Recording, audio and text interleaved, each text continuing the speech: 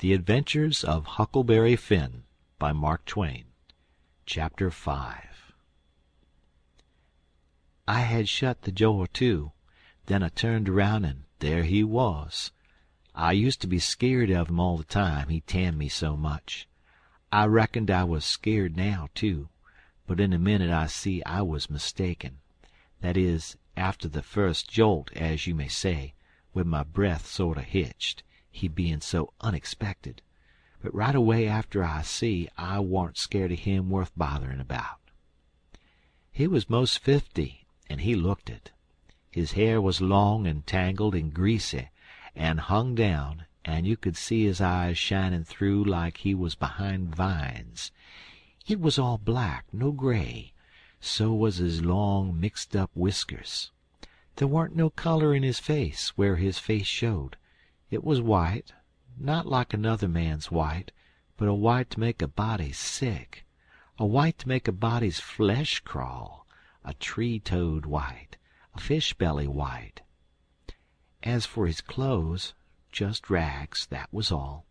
He had one ankle restin' on the other knee. The boot on that foot was busted and two of his toes stuck through, and he worked them now and then. His hat was layin' on the floor, an old black slouch with the top caved in like a lid. I stood a lookin' at him; he set there a lookin' at me, with his chair tilted back a little. I set the candle down. I noticed the window was up, so he had clumb in by the shed. He kept a lookin' me all over.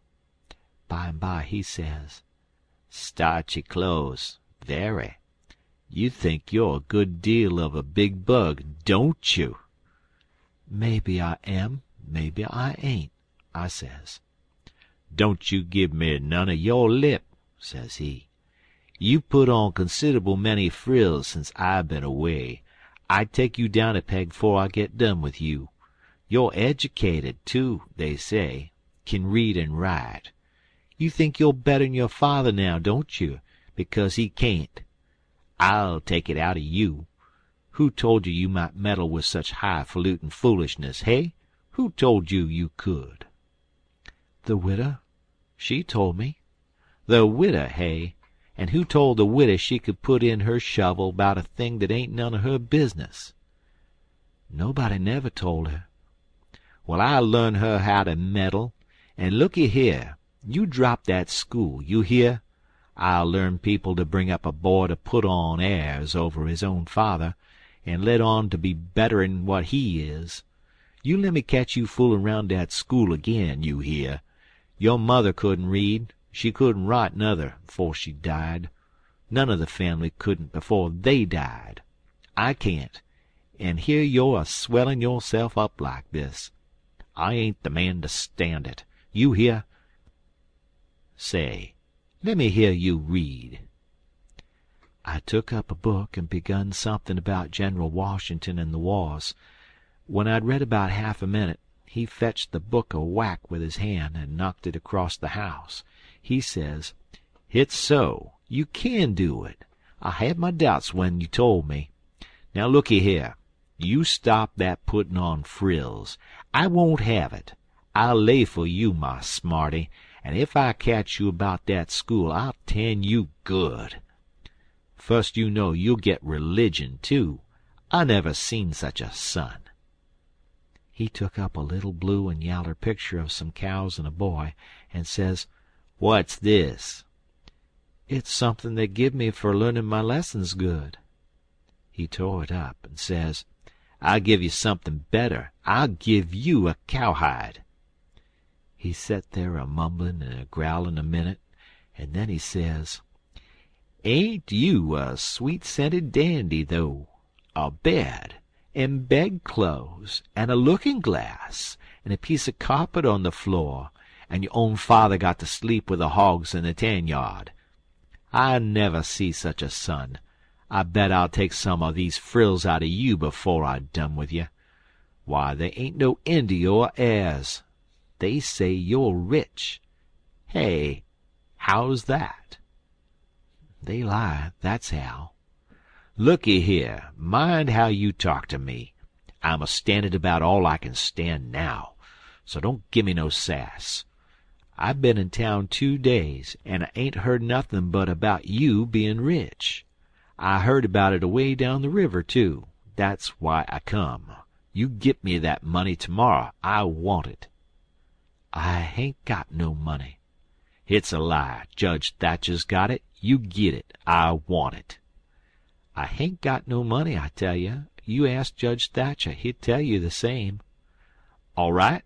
I'll ask him, an' I'll make him pungle, too, or I'll know the reason why. Say, how much you got in your pocket? I want it." "I hain't got only a dollar, an' I want that to "It don't make no difference what you want it for. You just shell it out."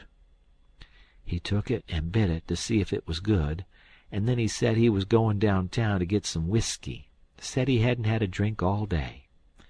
When he had got out on the shed he put his head in again and cussed me for puttin' on frills and tryin' to be better than him. An' when I reckoned he was gone he come back and put his head in again, an' told me to mind about that school, because he was goin' to lay for me and lick me if I didn't drop that. Next day he was drunk, and he went to Judge Thatcher's and bully-ragged him, and tried to make him give up the money, but he couldn't and then he swore he'd make the law force him. The judge and the widow went to law to get the court to take me away from him and let one of them be my guardian. But it was a new judge that had just come, and he didn't know the old man. So he said courts mustn't interfere and separate families if they could help it.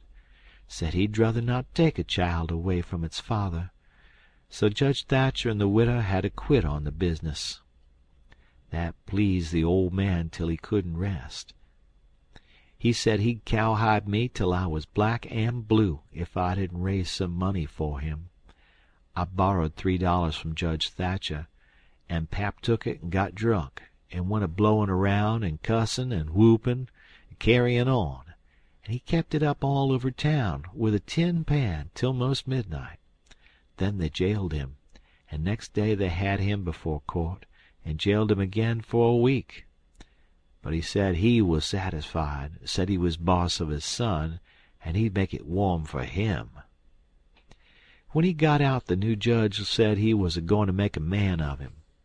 So he took him to his own house and dressed him up clean and nice, and had him to breakfast and dinner and supper with the family, and was just old pie to him, so to speak and after supper he talked to him about temperance and such things till the old man cried and said he'd been a fool, and fooled away his life, but now he was a goin' to turn over a new leaf and be a man nobody wouldn't be ashamed of, and he hoped the judge would help him and not look down on him. The judge said he could hug him for them words, so he cried, and his wife she cried again. Pap said he'd been a man that had always been misunderstood before, and the judge said he believed it. The old man said that what a man wanted that was down was sympathy, and the judge said it was so, so they cried again. And when it was bedtime the old man rose up and held out his hand and says, "Look at it, gentlemen and ladies all. Take a hold of it. Shake it. There's a hand that was the hand of a hog but it hain't so no more. It's the hand of a man that's started in on a new life, an'll die before he'll go back. You mark them words. Don't forget I said them. It's a clean hand now. Shake it. Don't be afeard." So they shook it, one after the other, all around, and cried. The judge's wife she kissed it. Then the old man he signed a pledge, made his mark. The judge said it was the holiest time on record, or, or something like that. Then they tucked the old man into a beautiful room which was the spare room, and in the night sometime he got powerful thirsty and clumb out on to the porch roof and slid down a stanchion and traded his new coat for a jug of forty rod, and clumb back again and had a good old time.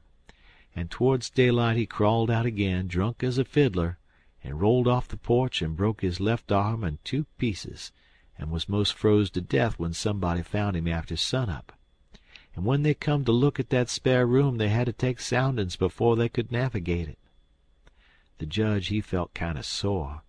He said he reckoned a body could reform the old man with a shotgun, maybe, but he didn't know no other way. End of chapter.